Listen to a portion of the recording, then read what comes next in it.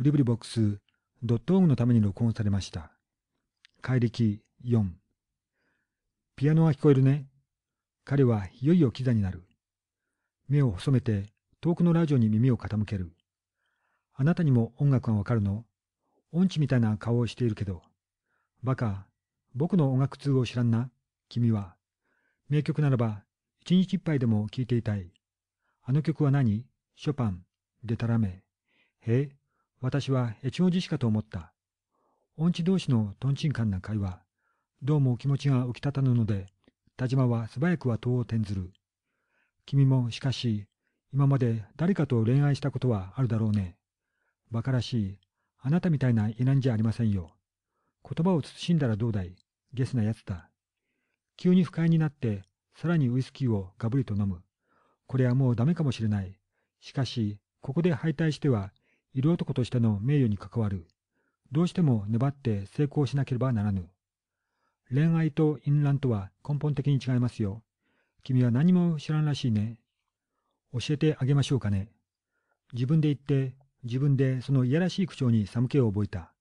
これはいかん。少し時刻が早いけど、もう酔いつぶれたふりをして寝てしまおう。ああ、酔った。すきっ腹に飲んだのでひどく酔った。ちょっとここへ寝かせてもらおうか。ダメよ。カラス声が番声に変わった。馬鹿にしないで。見えついていますよ。泊まりたかったら50万、いや100万円お出し。すべて失敗である。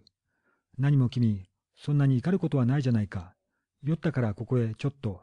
ダメダメ、お帰り。絹子は立ってドアを開け放す。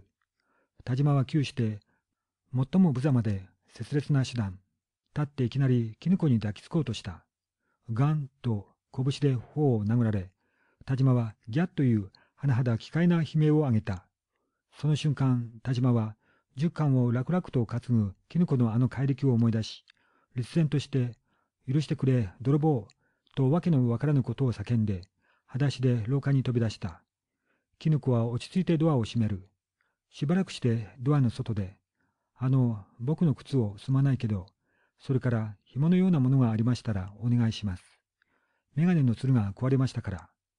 色男としての歴史において、かつてなかった大屈辱に腹渡の煮えくり返るのを覚えつつ、彼はキノコから恵まれた赤いテープでメガネを繕い、その赤いテープを両耳にかけ、ありがとう。やけみたいにわめいて階段を降り、途中階段を踏み外して、またギャッと言った。怪力4終わり。この録音はパブリックドメインです。